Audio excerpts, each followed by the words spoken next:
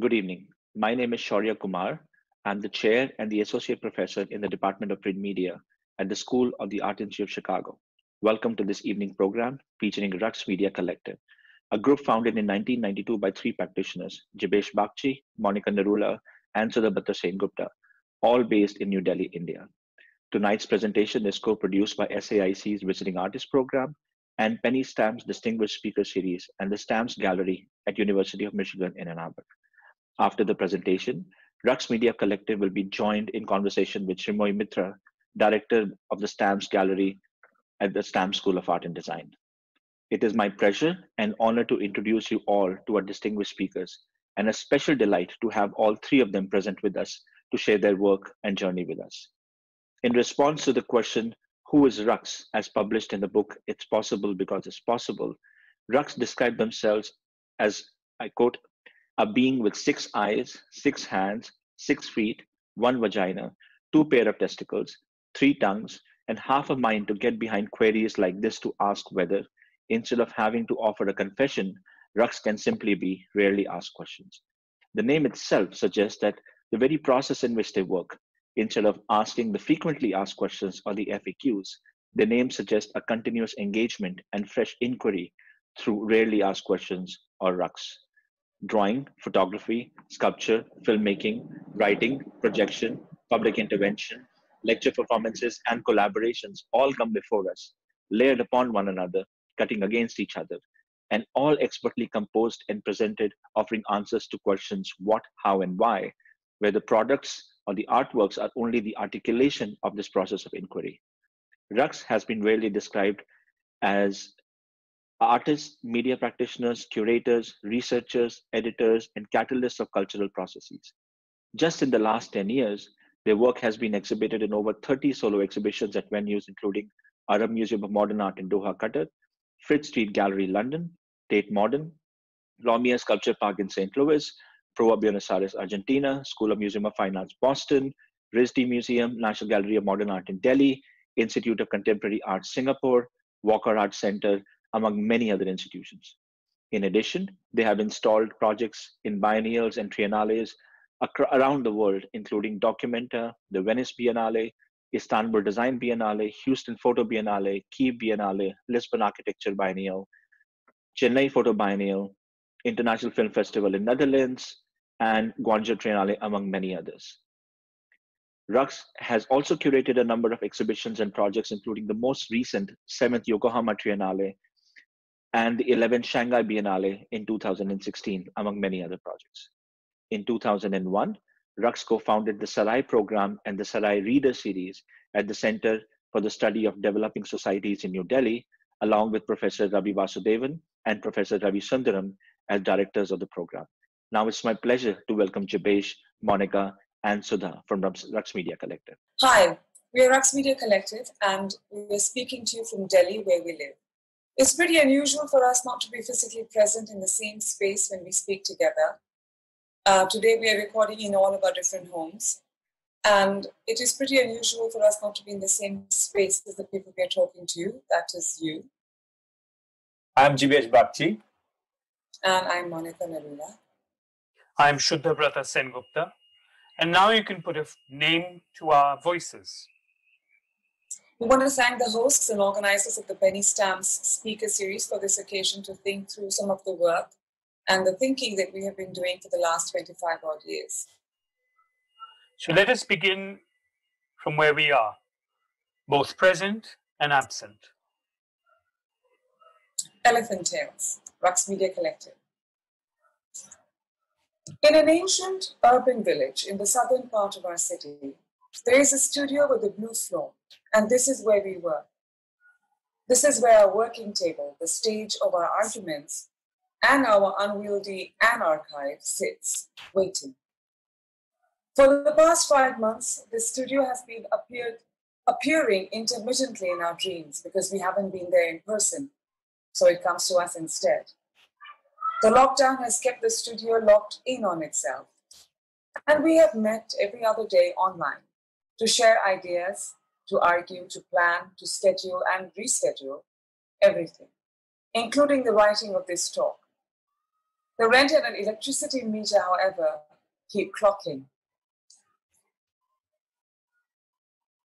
Confronted with the dereliction of a once great city, a conjuring elephant who had been the star attraction of a traveling circus that had fallen on hard times decided to entertain all that remained. He was the lone survivor of the mysterious catastrophe that has befallen the city. A stranded beast usually alerts us to a narrative of time, marked by disjoint, untimeliness, inertia, and deferral. Elephants were war heroes in our history books. A hundred years ago, they stood in rows at the Delhi Darbar that accelerated imperial grandeur and regional subjugation. Around the end of the last century, they appeared as a mascot in regional transnational games, a shared symbol of pride, potential, and innocence. From then on, from being the humble mount of the god of labor and technique, Vishwakarma, the elephant was said to have woken up and rising, ferried the hopes and lives of, of a billion to new heights. In the last decade, however, the beast has been having a tougher time. Mostly forgotten, sometimes feared for having lost its tamed self.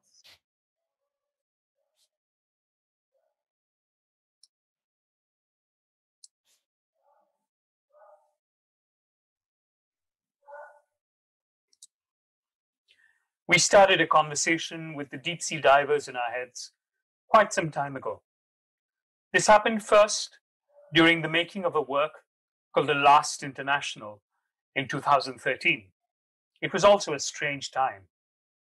There were other voices around us then of a time traveling rhinoceros lost in a Mediterranean shipwreck, a robot poet, a field of mathematical cacti, and whispers arising from crowds that were standing their grounds in city squares all over the world. We saw each other again for the first time in Engela. We saw We each saw other each again other for the first time again in for England. the first time. We, We saw, saw each each other other again again for the first for other the again first city time for the in We Zuccotti saw each saw other each other again for the first time in first Tahrir. Time. We saw each other again for the first time in We We saw each other again again We saw each for the other first again time for the in first time in Chaba. We saw each other again. We for saw the each first other time again in for the Neptune. first We saw each other saw each again other for the again. We saw each other again for the first time in Zindabad. Neptune. We saw We each saw other each other again again for the first in the time Red Square. in We saw each other again for the first time in India again We saw each other again for the time. first We time saw in each other again We saw each other again for the first time in Alexanderplatz. Alexanderplatz. We saw each other again for the first time. Listening to these voices, the question, what is it that is common between us, held our thought.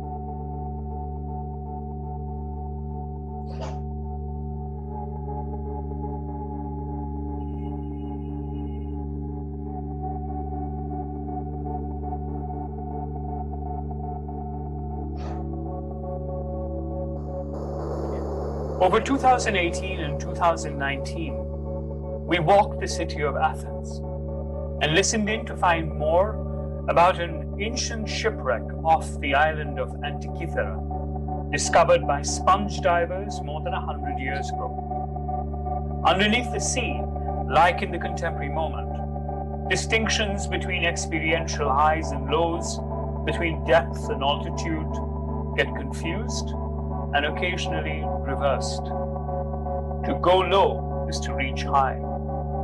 The seeming eternity of mesopelagic twilight makes temporal distinctions between now and then and the future seem suspended in a liquid timelessness. Present blurs into the future all the time, and future bleeds into the present a little bit at a time.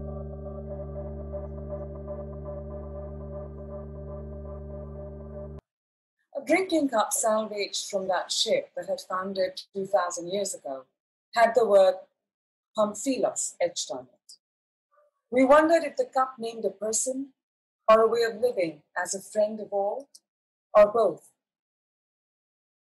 We met archaeologists and deep sea divers. We also met scholars, poets, teachers, migrants, doctors, nurses, researchers, dramaturgs, lawyers, and pharmacists. We met people tending to the shipwreck of the everyday, of scavenging capitalism. In free clinics, in hospitals, in volunteer run language schools, in self organized cafes, and in parking lots turned into parks. It was a lesson in diving into an ongoing massive experiment with living that has occupied the time of an entire planet, even while it is besieged.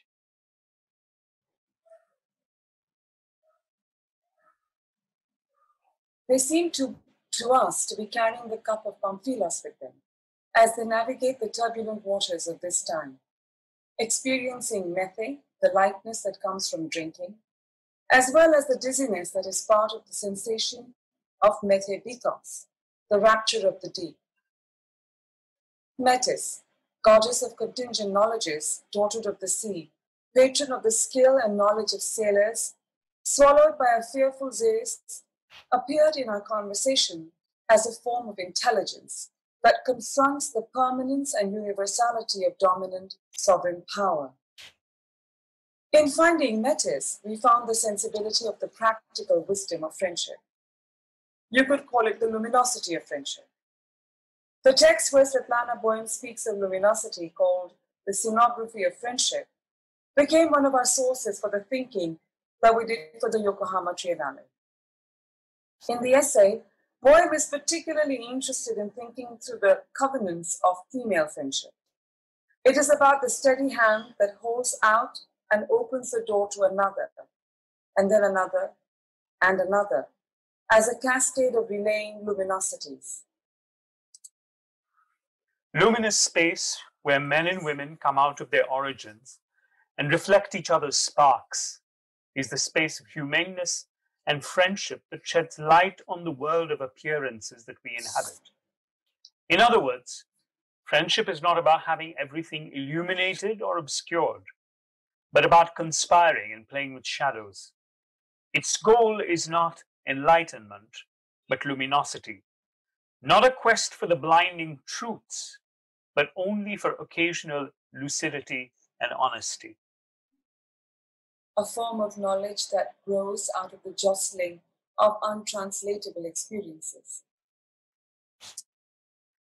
In the Middle Ages, there is a traffic of ideas, images, stories, and concepts between South and Central Asia and China, Korea, Japan. It is carried by itinerant autodidacts, monks, nuns, heterodox thinkers, merchants, sailors, pilgrims, fugitives, and slaves. A description of rare events, an account of their signs and how to repulse them, of elephants, their deaths in a state of rot, their conditions and their diseases, of music, the melodies, modes, and 108 rhythms and their merits and demerits, of the mystical journey, meditation, ecstasies, miracles, and 14 houses given by the Sufis.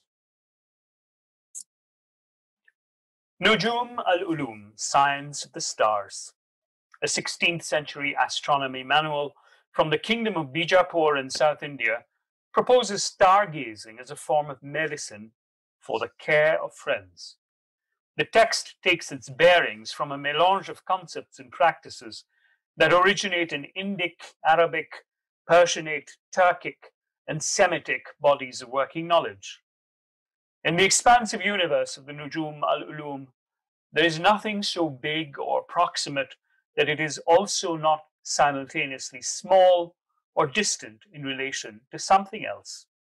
There is an acceptance of a delicate web of actions.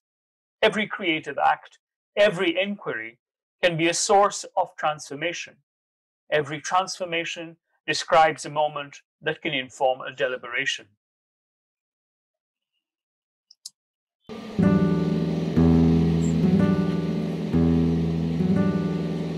Wet, Wet the knife, find the vein, skin the hide, ask, ask the, the gods, gods to try again.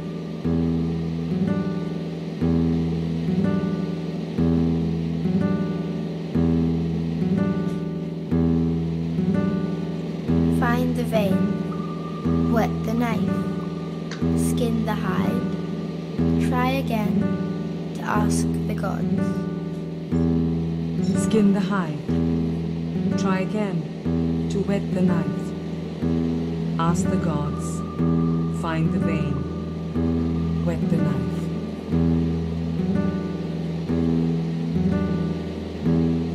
Iron makes all life as we know it, and death, possible. It is the secret of metabolism, of growth, of aging, which is only another word for the rust or oxidation that breaks down living cells, of death. Iron runs in our veins, helps us breathe, gives strength to muscle. DNA, which encodes life, would not bind without iron. Death, which occurs when the rate of cell death outpaces cell formation, is also a function of the presence of iron in our bodies. Iron is a clock that winds us up and slows us down.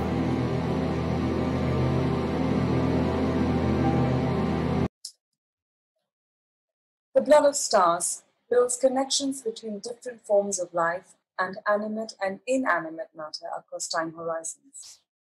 The work was located inside Stadsberget Cave, a decommissioned Swedish military and communication facility from the Cold War era, and it was a walk in 10 scenes. Aided by varying intensities of light as well as clouds, the walk goes along a meteorite falling from the sky, iron excavated from earth, abandoned bunk beds, wall graffiti, telephones, ethnographic film from the 40s, music video from the 80s, found TV footage, war charts, death reports, analog telephone exchanges, fungal growth, and a bundle of keys. Voices converse. The cave folds in on itself. Airplanes rust, having fallen from the sky. Reindeers run. And a snowman waits for aliens. The walk read meteorites for clues about the stains at the edge of every sharp blade that cuts into flesh. It thinks with iron, a residue from the formation of the universe, sleeping deep inside the earth, and its force from the veins of warm blooded animals.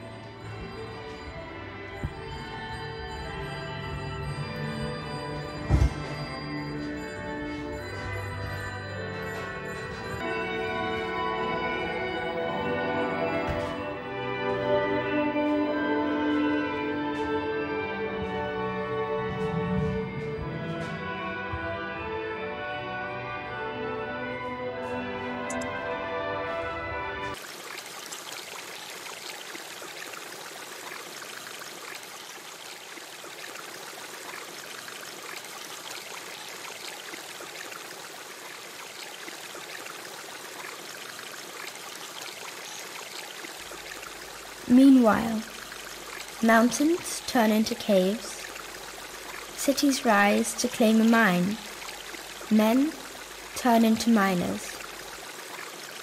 Tunnels perforate the bedrock of yesterday. It is today forever for a while, as if tomorrow never comes.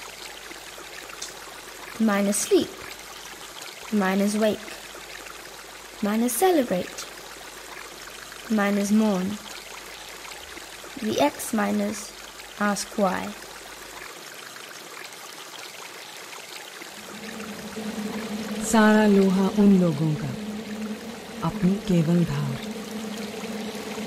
All the iron for them to mine.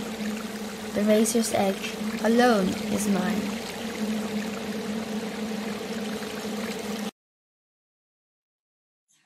The animal told jokes, did headstands, and carried on a practiced ringside banter across 15 of the abandoned city's 23 official languages. Nobody heard the elephant, but that is beside the point. It is, however, said that solitary lamppost was so entranced by the demonstration of memory, reasoning, juggling, and calculation that the elephant adroitly performed that they lit up on their own accord. Traffic islands blossomed when they witnessed its acrobatic feats and pavements that has always been askew found new sympathetic alignments. A door that had been forever padlocked in a warehouse suddenly found itself ajar. There were many other minor miracles that went unreported. In nature, nothing acts in a pure isolated state. A combination of impure states combined together as a concatenative force and move into an activation analogous to an entourage effect. A debated concept in therapeutic pharmacology which argues that complements act much better in a relational field of interaction and combination with others than in isolation. This gives rise to a milieu formed through force fields of epiphytic play, contagious displacements, and contaminated alterations. One terrain that our artistic and curatorial work interlaces is around the idea of the gathering. In our artistic practice, we have experimented with many forms of crowds and thickets. Thinking through the thicket that we are part of and have engendered, we can feel a kind of contrapuntal rhythm that has organically established itself between our art practice and our curatorial practice. Since Sarai, initiated in 2000 at the Center for the Study of Developing Societies, Delhi, we have been arguing and experimenting with an infrastructural mode of practice. This was to keep questioning the boundary conditions of knowledge and of art, and to shift the protocols and thresholds of entry and enlarge the dialects of participation. Our curatorial practice has become an intense site of furthering this questioning and a commitment to its implications. And our artistic practice has delved into finding ways to narrate and to unearth shifting narratives of place and time, multiplying perspectives and reordering foregrounds. And to do this with a kind of fictive play and the charge of images, objects, and words.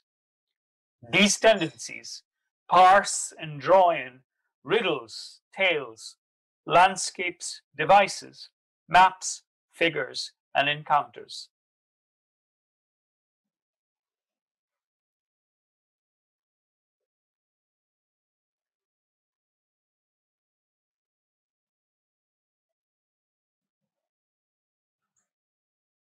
Do you have some time? Perhaps a few minutes? Are you listening now? Can you reach down under everything and listen to what is going on? Yes, there.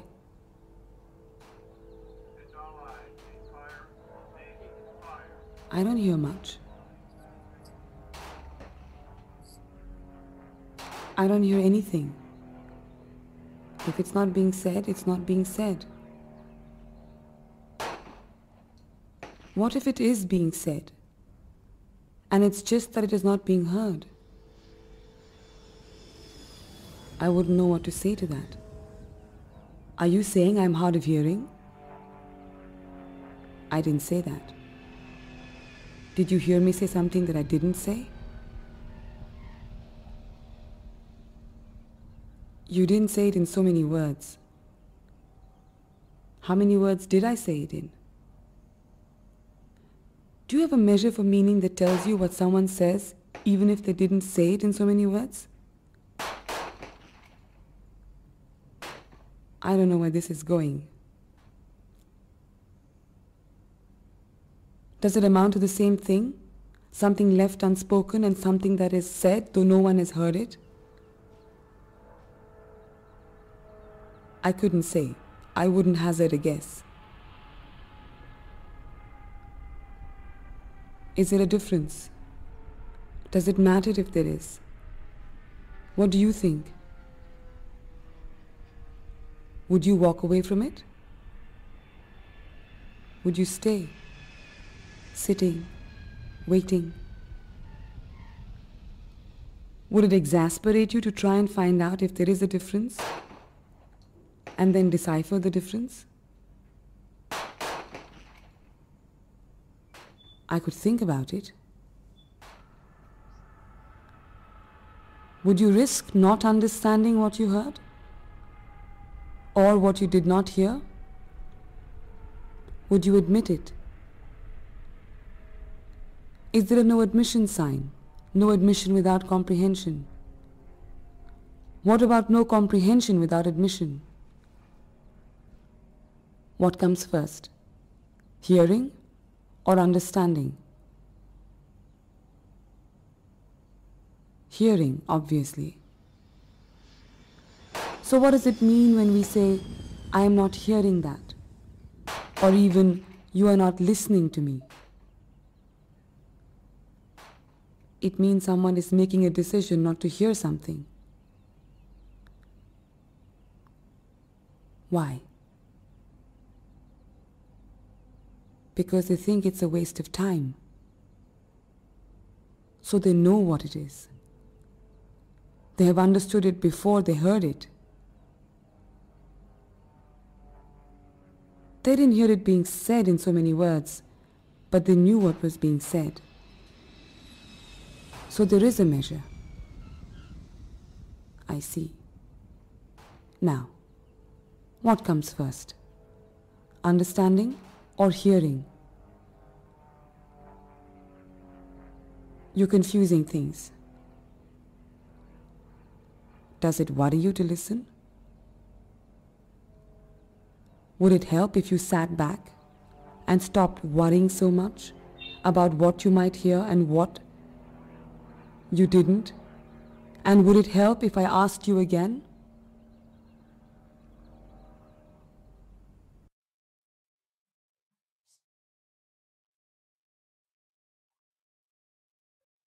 We are the generation that had to start the process of living with the World Wide Web.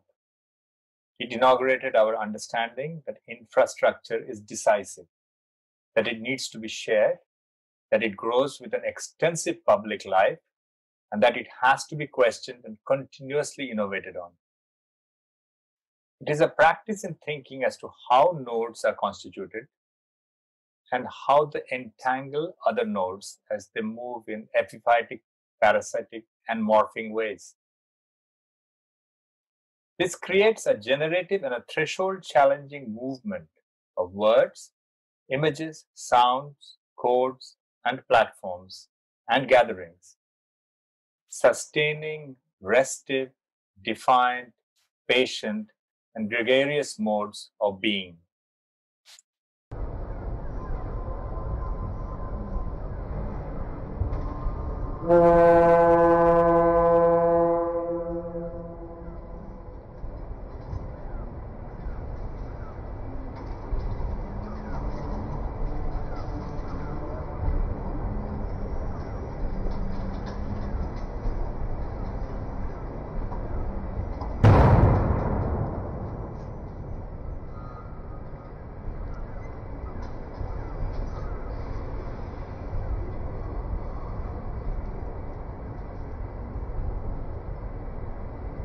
Mm-hmm.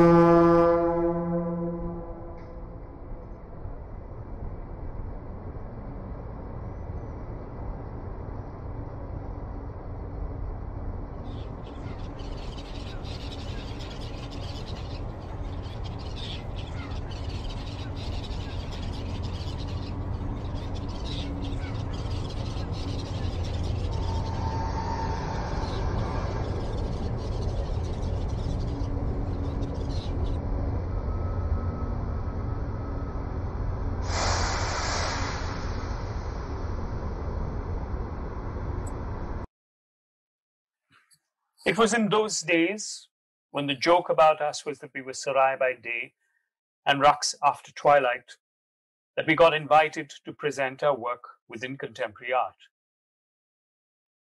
This gave us the space to test unconventional modes of arraying images and sculpting arguments in order to delve into the spectral world of shadows and premonitions and to speculate on the not yet.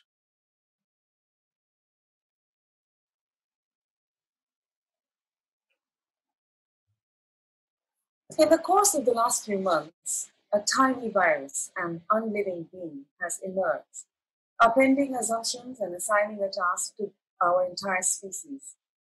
We, all the billions from all parts of the world, have to undertake, in awareness of each other, the remaking of forms of life. It has brought to the foreground the necessity of reapprehending the world. Yes. And next to this work, uh, there's Tenzil. Twilight. Beautiful installation. It's like a series of wall, walls and rooms uh, with views looking in or out. Again, that sort of um, shifting of uh, assumptions about uh, borders, about whether you're inside or whether you're outside.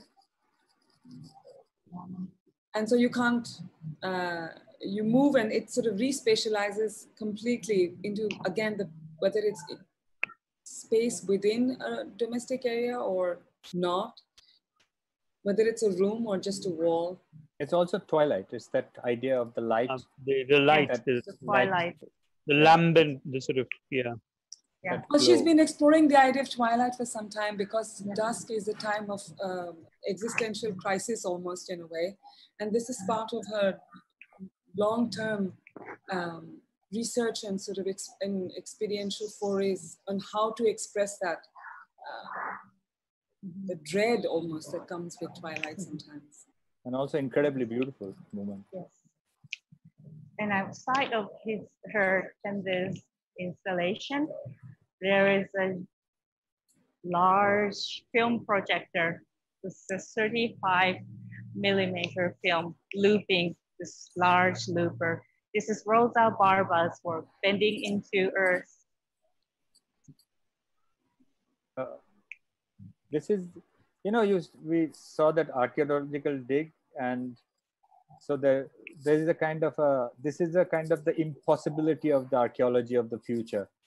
Uh, here, Rosa takes on an incredible toxic uh, kind of sites and radioactive sites and produces for us an incredibly poised image of that which cannot yield archaeological results.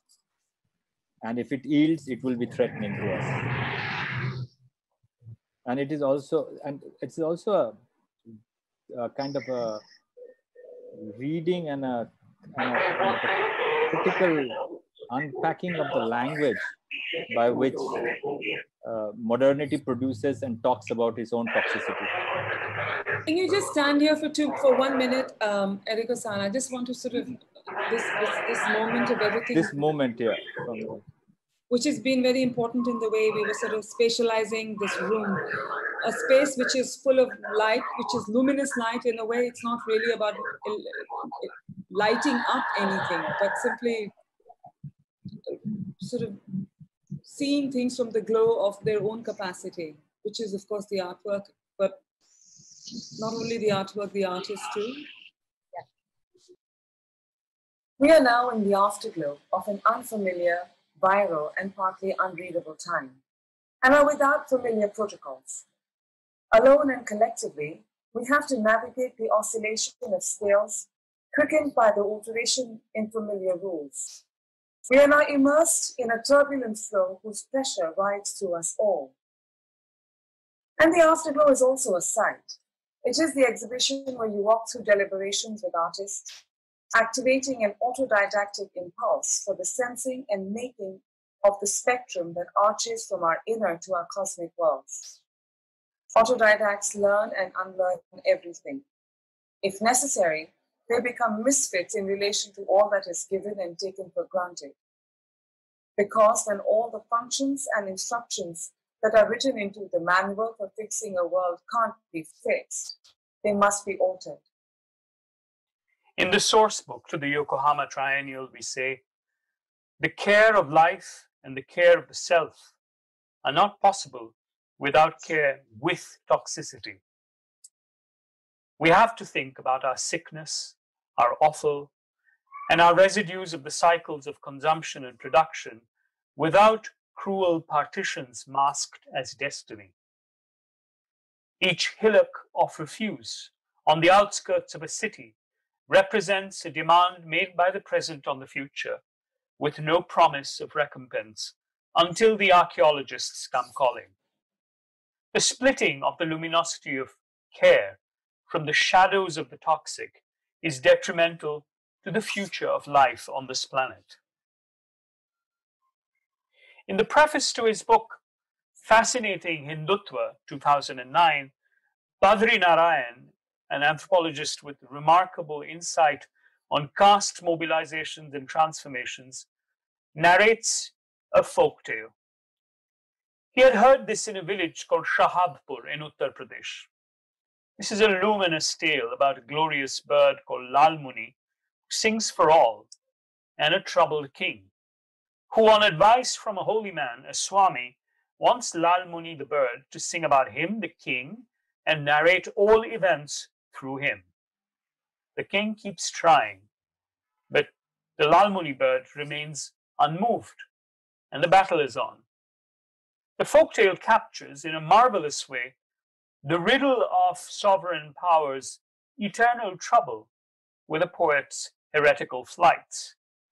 The work of artists, of scholars, of all kinds of practitioners of speech and images is to earn a place somewhere in Lal Lalmuni's world. It is a challenge and a calling, and it cannot be resolved. The question then is how to trace, both to find and to draw out the lines of the fleeting, the contingent, the discontinuous, of that which did not obey the epistemic rules of its time. How to celebrate epistemic disobedience? No one quite knew, for instance, how to exhibit a soot black sourdough square of calcified moldy biscuit, which was located in the storage shelves of the People's History Museum in Manchester. Baked during the days of the Paris Commune in 1871. It had sat, this biscuit, in a cardboard box for close to a hundred years. We took it out, scanned it, to generate a 3D printed negative mold, and then used that to bake new biscuits. The moldy biscuit became a conduit to another taste of time.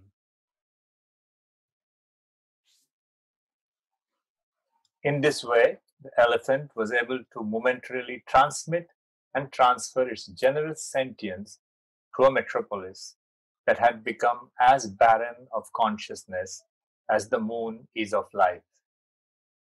And so, that which appeared lifeless was quickened into animation the elephant found enlightenment within its grasp in that limbo between appearance and essence. And its innate compassion prevented it from leaving the city to its mute posterity. And so the magnificent beast left its shadow on a wall. The city fell asleep again, dreaming that an elephant had come to entertain.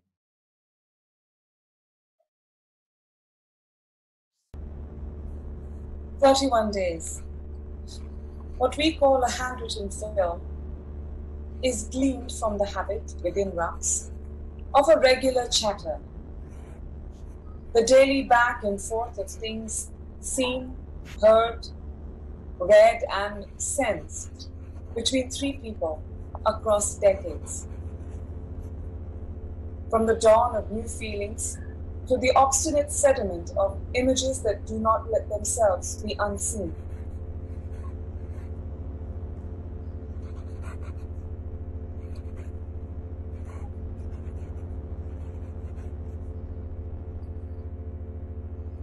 Disappearing ephemera, a history in the making. The scene that unfolds in the corner of the eye. Everything and nothing.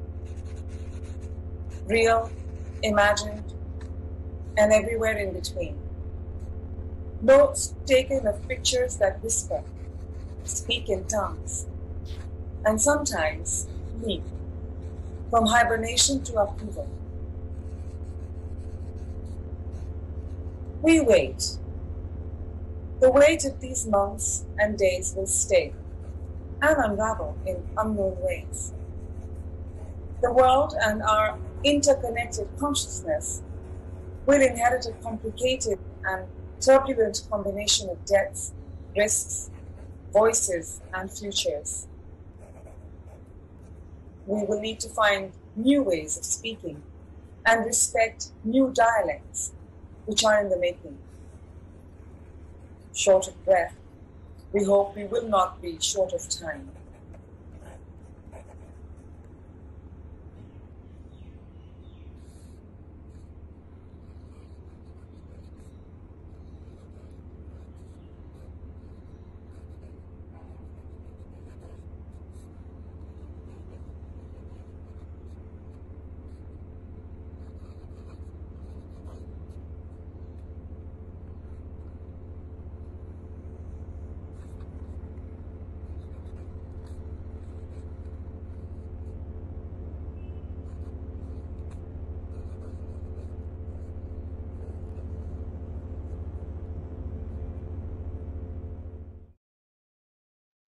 Thank you.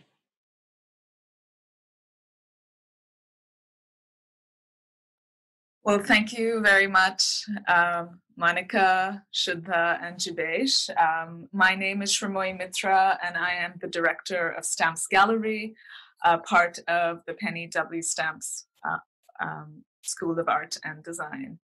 Um, so I have the great honor uh, to um, to engage in, in a conversation uh, uh, with each of you um, to take us through, um, you know, and thank you so much for taking us through the sort of um, really expansive um, and and breathtaking body, you know, bodies of work.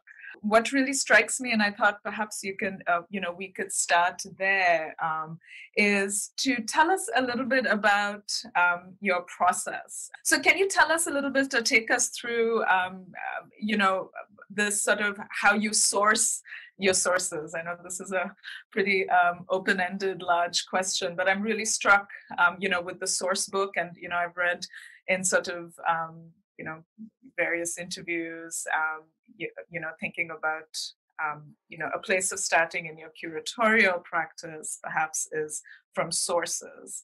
Uh, would you like to tell us a little bit about, um, can you tell us a little bit about sourcing or source materials and your process and the sources start about like has been there uh, we've become conscious of this process of the source over the last few years it has been the part of our practice uh, along with the infrastructure gathering source has been also there but in the last few years we've become aware about trying to move away from a very thematic construction of the world where the curator because of the curatorial this question keeps on coming up Mm. So, how do you escape a kind of thematization and illustrative logic to practice? Logic to practice not only the self, but practice of others.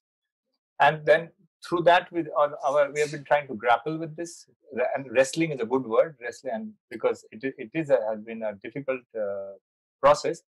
But in that process, we came to an understanding that through working over a period of time, that we have actually started working through sources, and only in the last few years we understood that the work has been through sources that we actually exchange sources with our co-artists and with between ourselves mm. to start building a conversation to start weaving conversation mm. to start seeing and this whole logic what monica once framed it between us was that it's called the spectrum logic that you actually start expanding the spectrum uh, around the source you don't try to explain define a source and and that expansion of the spectrum allows the source to then pull in other sources and give a good example of this in this that the scenography of friendship uh, of Svetlana Boym became a very interesting way of weaving sources with sources mm-hmm. through the idea of the care of the friend. So it starts knitting. So what happens is that one source becomes knitter of other source and the other source becomes expansive and drawing in other sources so you actually you unleash a form of thinking around you with co-creators something that you are quite surprised by yourself I think being in a collective, um, what I like about the, and as you wish that we've only become more aware of the, or self-aware of the process, I would say in the last few years. But what is nice about this, this, this method that, you see, it, because it's a propositional method, it's not, uh, it, it doesn't, it doesn't say it as much as it asks. And in that process of asking, it, uh, it, it, um, it, it assumes that a conversation will happen, that there will be something which will come back. And that I think the fact that we are a collective, I think is uh, this was a method we must have found because obviously we, you know, what is intuitive to the self, how do you share that? And how do you share that without it being descriptive or kind of uh, definitive? You want to share that in a way that is able to pull uh, the other person's intuition, the other person's thought, the other person's feeling to come along with yours. So I think that aspect of the the propositional aspect of sources, the, the, the fact that they that they are open and they allow for other kinds of uh, unexpected resonances to emerge. That is, I think, one of the reasons why this method is something that we've been working with for, I, I, I guess, all our, I mean, all our working lives together. But I would say in the last few years, we've become much more self-aware of it. Um, like Monica said, there's this business of the unexpected resonance. And that takes me to um, a word that we, one of us, I think, I don't remember which one of us said during the course of this lecture. It's a word we've invented called the anarchive. I think right at the beginning we said uh, our studio waits as the anarchive. And the anarchive is, is an anarchic archive. And it is so because it, it, um, it, it avoids the question of creating a classificatory hierarchy of different kinds of knowledge or different kinds of um, source. Mm-hmm. So when we're talking about this unexpected resonance, it's because um, the source may come from a philosophical text, but it may also come from a reading, a careful reading of a telephone book. Mm-hmm. It may come from reading numbers carefully. Jeebesh, for instance, is very a diligent reader of GDP figures. He gives us GDP figures all the time. Are doing well now. not doing well, but but everything that ranges from the football score of the little local club to the to the national GDP figures to um, to an understanding of infinity and infinitude. Just to take the idea of numbers, for instance, um, which is something that we've thought about. So all these different orders of and the different registers, and they all have different emotional and affective registers. For instance, if you're talking about number, mm-hmm. then the affective emotional register of infinity is very different from you know a constrained number that seeks to denote people in a particular census so these can all be sources but when they jostle with each other they produce effects that we may not have been able to predict um, and perhaps i wondered if you could um, kind of talk a little bit about that? Um, um, you know, uh, in in um, that sort of how those logics sort of informed um, a work um, like in Blood of Stars. Um, you know, because uh, there, obviously, you were you were at a site, a specific, a very specific military site in Sweden, the space that hasn't been used. You know, I would imagine a very spectral sort of space, um, um, you know, kind of I don't know, huntings or coastings of the space in there. I don't know, just what, you know, when I watch the work, it's sort of, um, um, and so, yeah, if you could talk a little bit about that work and how that came to be, um, and then your decisions in um, in the films and the installations, um, you know, sourcing from the space, um, but then also bringing something within it. Uh, I really like how you speak, Srim, where you bring so many things together that I, from spectrum to spectral. So mm-hmm. there's, as you said, the haunting, the that which is not present, and of course, uh, the idea of listening, the you know, the, the the fact that you are not always taking your cue from that which you you think you can see and therefore understand, but listening demands at a certain other kind of register of attention, which is really um, very important. Um, and uh, and of course the other idea of the, the, specter, which is haunting so much of the present world uh, and its and contemporary politics. But speaking much as all of these things, I think this this this uh, this spectrality definitely is you know is part of our practice. is very much a part of of how we think um, and how we listen, and of course listening to each other. But speaking more specifically of the blood of stars. Um, it's actually a complete example of something like this because in, in, in it was a, it was it was a, it seems like a short film now. I don't think it's like less than 20 minutes, but it took it took us almost two years to make, and it involved many trips to the Arctic Circle. Mm-hmm. Um, and what is interesting is, you know, um, the first one of us first went, saw some things, saw the caves, saw other places too. There were many options available uh, had a certain order of encounter with the landscape, came back and, and talked about it. And we all heard, even if um, what could not be said the most, you know, if, no matter what the words were, we also heard the excitement about, you know, what what what was uh, what was sort of uh, spectrally uh, uh, uh, exciting. Like you don't necessarily know what is exciting you, but you know it is very exciting, and you have to be able to listen to that in, in, in your colleague's voice. And I and this is how it went on actually. Then then another and then we went back again and again to that landscape to see it in spring, to see it in deep winter, to see it in uh, when it was you know green and vibrant. Um, you know the whole and you know we went into iron mines in the in the far north we uh, we spent a lot of time and i think that kind of experience of um, being with the landscape and the kind of ideas that it engenders that time that is needed uh, for things to percolate so that's i think the other aspect of all of these things you can listen and you can uh, speak in a in a different way but you also have to give things time to cook there's also, I mean, I think it's it's a very interesting thing that you've zeroed in on the act of listening because it's it seems to be a persistent. Um, there's a buzz around listening in our work. Um, one of the extracts that we showed today, um, the film with the with the door of an airplane against a blue sky and clouds, is taken from a work called The Measure of an Acoustic Reason. And what you hear over it in Monica's voice is a is a kind of meditation on what comes first, hearing or understanding. And it's this business of like an acoustic or an anacoustic um, relationship to the world. I mean, for instance, let's say when a when a tribunal or a or a bench in a court listens to an environmental matter, what is it hearing and what is it not hearing in the hearing? Um, Native Americans, for instance, often when they have to prove title to land, had to sing the songs of their belonging to the land. And judges in Canada and the United States, and this happens everywhere in the world, say, well, this can't be heard.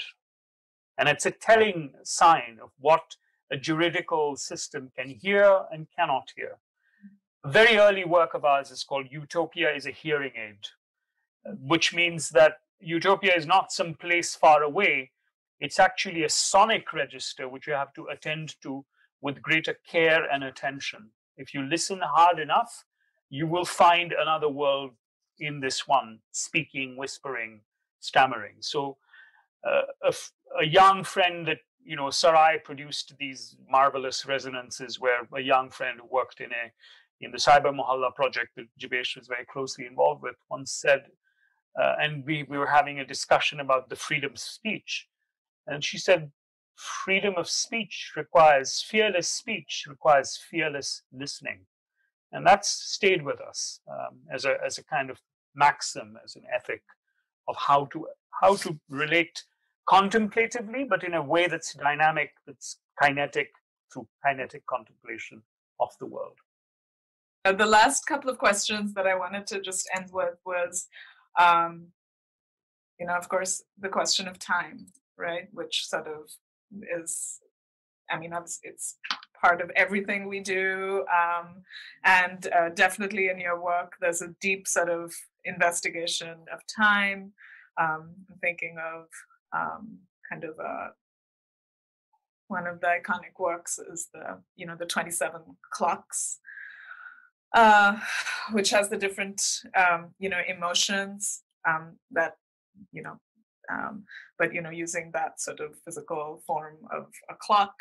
Um, but also, um, you know, as you ended your talk with, um, hope you don't run out of time, you know, um, in um, in this piece and the newest piece, 31 Days. Um, and we're sort of all in this time uh, that we can, you know, what we have common now, perhaps um, across the world or, you know, in different geographies. Uh, I mean, we, we have many, but this one in particular is this idea of being in uh, isolation or in lockdown mode or you know within these cubes of um, of of, um, of zoom. So it kind of um, um also blurs this uh, question of space because we can now, um, you know, while um, we can't have these conversations in person or we, we're unable to, um, but we can all, we can still come together, which arguably we could before, you know, um, the virus, coronavirus, but, um, you know, now that has become kind of uh, um, an important and major platform. but it's this kind of weird sort of, or the strange void space, but it's also very full and rich, kind of brimming, a kind of a new space, a new sort of non-space. Um, um, so, and I'm going into space uh, while I'm what started out talking about time, um, but they're obviously deeply connected. Um, and so um, this, you know, um, if you could reflect on this, these this time, um, you know, not, you know, uh, not being able to go to the studio for how many ever months, um, and um, this sort of, but but our daily um, sort of minor routines, you know, which is kind of uh, whether in in 31 days, this, you know, the writing, um, um, putting pen to paper. Um, you know the type of you know uh, there is um, it's it's very rich like there's textures in the paper the playfulness of the different ink, um, you know, that the character, you know, the protagonist uses to um, uh, these sort of minor rituals, which sort of uh, have kind of embodies this sense of hope. Um, in you know, as I as I uh, watch it.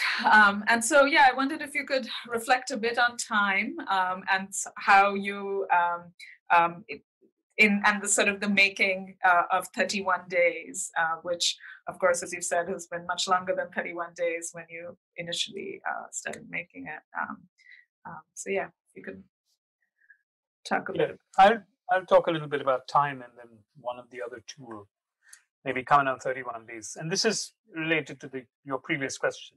What is it that we all have in common? Mm. Um, we could, I mean, the, when we were doing research on Pamphilos, the friend of all, um, we came across this mm. beautiful fragment by Pythagoras, which says that um, it's koinata philon, which means friends are those that have things in common, mm-hmm. right? So instead of the commons being something that you actually discover outside yourself, the commons is something that actually grows out of a relationship. Mm. And the one thing that friends have in common more than they have anything else is time. Because you can be someone's friend only if you give and receive time and share time together. Um, and in, in our case, this, this business of living through 25 plus years of practice uh, is not just a division of time, it is actually multiplication of time. So we are whatever we are as ages, but the Raqs Media Collective is actually already 75 years old mm-hmm. because it is three lifetimes of 25 each, right? Which means that it has experienced, Raqs has experienced more than what we individually have experienced. And that, I think, that that understanding that that society or, or fraternity produces an expansion of the horizons of time is one of the most uh, it liberates you more than anything else does because most of our compulsions whether they're political or social seem to have at bottom to do with the fact that we are all running out of time mm. Because it, the measure is the lifespan And you never, whether it's, let's say, the environment or so on, the, the notion of a crisis has always to do with, oh God, this, has, this is happening right now, and what will happen tomorrow. If we were able to, to expand our temporal horizons, maybe we would weigh things differently. And I think that's one of the things that makes us think about registers of time, its worth, its value, its feeling, which is why the, the, the work that you refer to called escapement, which mm-hmm. is refers to the mechanism of winding up of clocks, um, is a book of hours. And book of our books of hours were, were a very established mode of meditative practice, art forms in medieval uh, cultures everywhere. So you have books of hours in medieval Europe, you have them in uh, in India, you have them in China. They're all to do with repetition, with rhythm, with finding a groove in time. So um, that's one of the reasons why I think we're also so time uh, untimely in our thinking about time. Maybe 31 days is one one of the other two. Monica, 31 days. 31 days. Um, I don't know. I mean, to me, this is. It, well, the experience of making the work actually, I think, um, you know, I think when the when when when uh, when the world changed earlier this year, and I do not say it lightly, I think there was that sense of like the fact that it, how can it be that we had to live, you know, through this? It was the it was the Spanish flu happened a hundred years. You know, humanity has conquered the world. Humanity has conquered other species. Every day we hear about the death of. Mm-hmm. Just yesterday, I read how you know 84% of freshwater species so have, have been wiped away since 1970. So you know, so the so for good or for bad, you have reached this apex predator position. How is it that you can be so easily destroyed by something that even now I think is no more than a few grams if you include the entire world's COVID. If you weigh all the viruses, virus. they'll come to like a few grams. Wow. And so yeah, so that's it. So then I think that that's that surprise I think was the biggest thing. The sort of the hubris, the human hubris of the last uh, whatever years. I definitely was kind of shocked that no matter what, like how could it how could it be that we are going through this? And I think that led to first uh, a relationship with time that I found very like the day was so long right? It, it, just felt like my day was so long. I didn't have to do anything. Uh, there was nothing to be done, and and you know there was uh, we had to take care of our our own like basic necessities, but yet the day seems so long. And I think that uh, was another surprise. I don't think the day has felt that long since I was a child and when I didn't have to do anything.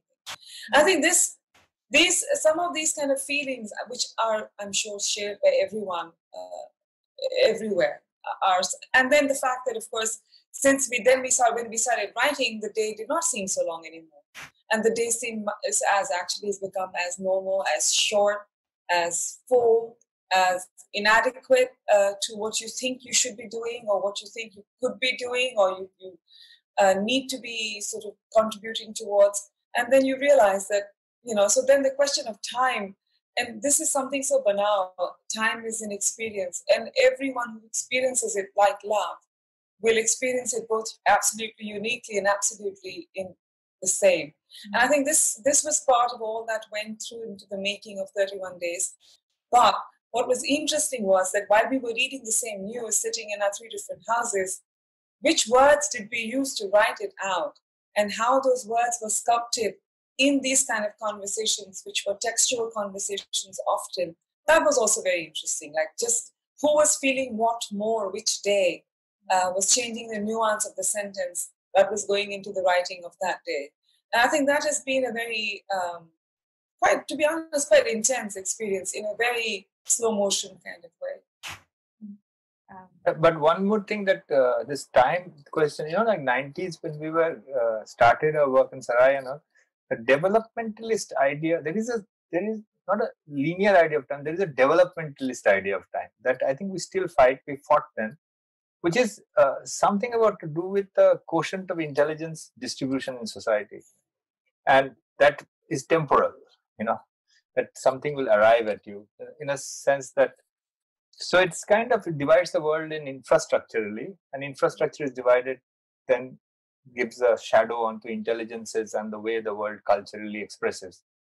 And now, one of the big thing that Sarai also is to fight it out. This developmentalist idea of time, we structure so much of resource, so much of the propaganda, so much of imagination, of expertise, knowledge, creates havoc in people's life. Uh, it creates havoc in the way uh, uh, we we talk and interact culturally across cultures, across uh, even castes, across uh, classes. So one of the things that I think that is not unresolved in our uh, intellectual life and and that keeps on battling. So even in 31 days, it's the idea is to change the perimeter of observation. Though we are locked in our rooms, but the observational perimeter is not one of the gradient is not one of the known gradients by which the room would be constructed.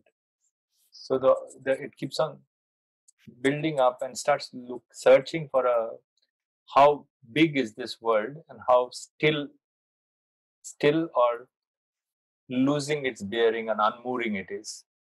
So that's also 31 days. Uh, so it is not that it's not a fine grain observation. It is a very fine grain observation of our uh, specificity, but it is also drawing that fine grain into a what we later call perimeter, but not exactly a perimeter, but that what is this world constituted by? Mm-hmm. To break this uh, logic of time, you know, that you are in some order of time already. Mm-hmm. So that's there. It's somewhere. I think it's there. It's haunting it. Mm-hmm. In its writing, it is there.